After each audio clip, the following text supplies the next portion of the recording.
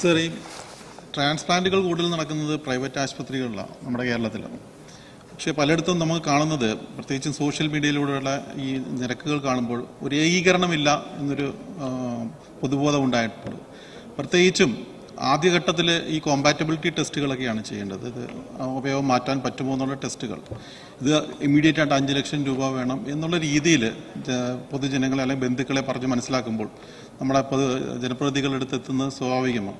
അപ്പോൾ ഇതിനൊരു ഏകീകരണം ഉണ്ടാക്കാൻ വേണ്ടി സർക്കാർ ഇടപെടുമോ? അതുപോലെ തന്നെ ട്രാൻസ്പ്ലാന്റ് ചെയ്തിട്ടുള്ള പേഷ്യൻസിന് അവർക്ക് ഈ ഇമ്മ്യൂണോസപ്രസൻസ് അടക്കമുള്ള മരുന്നുകൾ നിരന്തരം കഴിക്കേണ്ടി വരും ജീവിതകാലം മുഴുവൻ.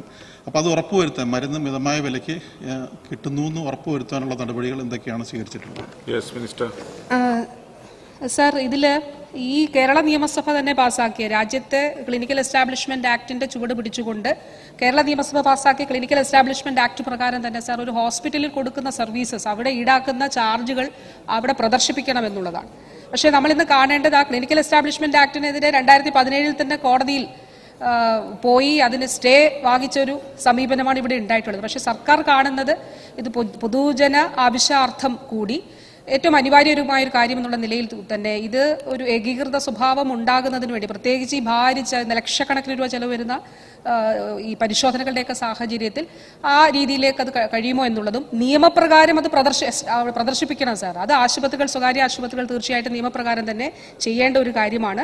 അതോടൊപ്പം ഈ സബ്സിഡൈസ്ഡ് ആയിട്ട് മരുന്നുകൾ കൊടുക്കുന്നത് അതിന് വേണ്ടിയിട്ടാണ് സർക്കാർ ശ്രമിക്കുന്നത്. ഇപ്പോൾ ജില്ലാ പഞ്ചായത്തുകൾ ഭൂരിപക്ഷ ജില്ലാ പഞ്ചായത്തുകളും ആ രീതിയിലുള്ള ഒരു അവരുടെ പഞ്ചായത്തിന്റെ പദ്ധതിയുടെ ഭാഗമായി തന്നെ പണം വകയിരുത്തിക്കൊണ്ട് അത് നടപ്പിലാക്കുന്നുണ്ട്. അപ്പോൾ ഈ സബ്സിഡി ഇപ്പോൾ ക്യാൻസറിന് വേണ്ടിയിട്ടുള്ള സീറോ പ്രോഫിറ്റ് സ്റ്റോറുകൾ തുടങ്ങുന്നതിന് ഈ ജൂലൈ മാസത്തിൽ നമ്മൾ തുടങ്ങും.